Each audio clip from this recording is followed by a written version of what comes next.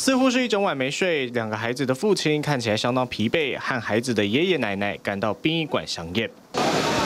三人都低着头不发一语，快步离开。恐怕是没想到下手的竟然是孩子的妈妈，疑似是和家人相处不愉快，酿成悲剧。夫妻俩结婚十一年了，去年才从大陆回台湾跟公婆一起住，但是他们呢常常因为生活习惯不合，常常跟公婆有摩擦，起口角。简姓母亲和当时在大陆湖南经商的丈夫认识之后相恋结了婚，定居在大陆超过十年，定时回台湾探亲都没有异状。但去年搬回台湾后，丈夫改做保全，一样要上班，疑似是因为生活习惯问题，常常有摩擦，沟通又出状况。当天早上起床又和公公婆婆吵了一架，婆婆讲台语，以为是在骂她。夫妻带两个女儿出门，走进碧潭。这囡仔可大汉了，大刚都带对叫鬼啊，因这太太叫乖啊喏。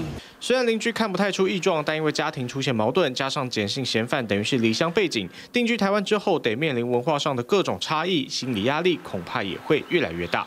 方面可能一个观念或习惯上的不一样，那就会有很多的摩擦。那这些摩擦我们看到都是日积月累的，这个都会产生很多不一样的想法跟作为。独自面对种种压力，恐怕也是这回让两个孩子丧命的原因。但发生这样的事，孩子就读的国小校方表示，两位学生平常在学校学习都正常，表现良好，也不是辅导个案，会全力配合调查并提供协助。社会局也会协助家属处理后续丧葬相关事宜。但做母亲的带着两个女儿下水之后，自己却上了岸，也让自己成了杀人嫌犯。TVBS 新闻综合报道。想看最完整的新闻内容，记得下载 TVBS 新闻网 APP。